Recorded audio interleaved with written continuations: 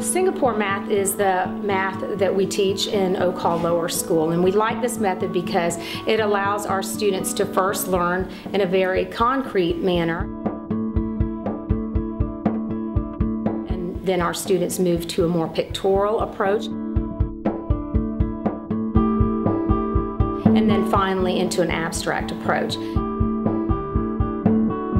Singapore math builds on a conceptual understanding of math instead of focusing on rote rules.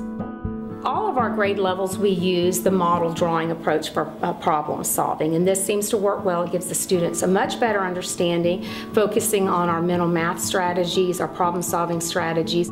My name is Michelle Mills and I'm a fourth grade teacher here at Oak Hall School. I'm working with Sydney and today we are doing some model drawing problems that we've been practicing in class. So I'm going to add 17 plus 5. So we want to make groups of 10, so we're going to go ahead and branch the 5 into a 3 and what, Sydney? A 2. 2, very good. And so if I wanted to add 17 plus 5 and branch 3 and 2, I would first add 17 plus 3, which equals 20. 20 plus, I have 2 left over, and that equals 20 plus 22. Very good. Let's do 76 minus, and we're not going to do any regrouping yet, okay? 32. Okay, ready, Sydney? Okay, so I know that 7 tens minus 3 tens equals 4 tens.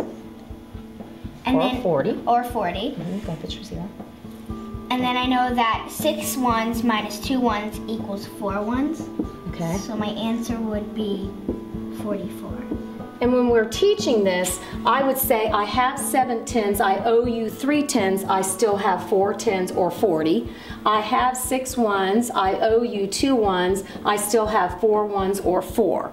So because I still have that, we add that together. In first grade, with our model drawings, how they helped was if it if the problem was about um, like maybe flowers or something else, you draw the flowers. Let's say there are three, you draw three of the flowers in the box, and it'd be helpful because you know how many there are, and it's right in front of you, and you know what you're talking about. I like math a lot. It's one of my favorites, and I also like physical education.